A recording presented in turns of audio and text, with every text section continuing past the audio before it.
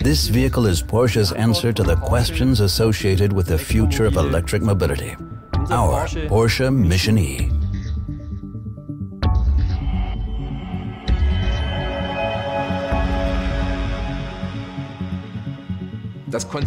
This concept car is a truly fantastic challenge for us because it's our first electric sports car. You're commissioned to do a job, in this case, to develop a four-seat sports car with an electric drive system.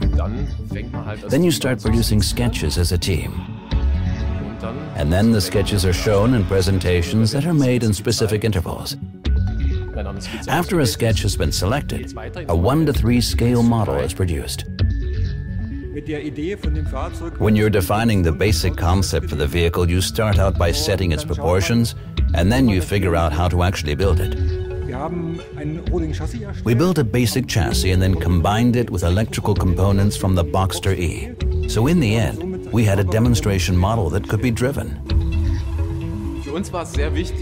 It was very important to us here to create typical Porsche proportions. We were able to design an extremely low front end because there's no engine in the front. We also didn't need to have any huge air intakes, so we were able to design everything in the front in a very clean manner, almost a bit like the old Porsche models from the 1950s, 60s, and 70s. We then mixed the whole thing with the wonderful shapes of the 919. Creating this combination of a race car and a carefully designed vehicle was the best part of the job.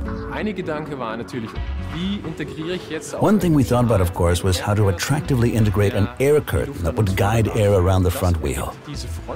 This led to the front end design we chose, which, as one can see, has the classic round Porsche nose flanked by two intakes that let air pass under the headlights towards the wheel arch. First of all, the vehicle is clearly recognizable as a Porsche. But we designers wanted to go a step further and see how the Porsche design language, and especially a Porsche electric design language, might be developed further. Our intention here was to also be somewhat provocative with some parts of the vehicle, but nevertheless, just one look at its proportions and the general design is all it takes to see that the vehicle is clearly a Porsche. We also addressed a couple of strategic issues that are very important to us. The four-point lights in the front were important to me. The arc of light was the main issue in the rear. For us, the door concept is a typical sports car design, one without a frame for the first time. Convenient entry in the rear is ensured by rear hinged doors, and the fact that there's no B-pillar makes for perfect access in the rear.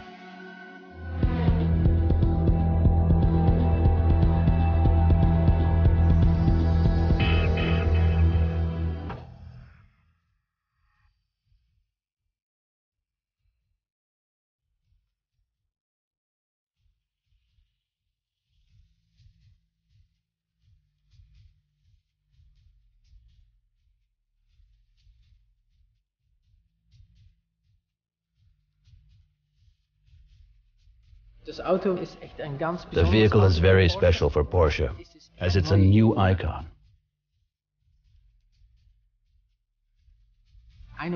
One of our most well-known cars is the 911, of course. And this vehicle will carry into a new era all the things the 911 has been famous for throughout the decades.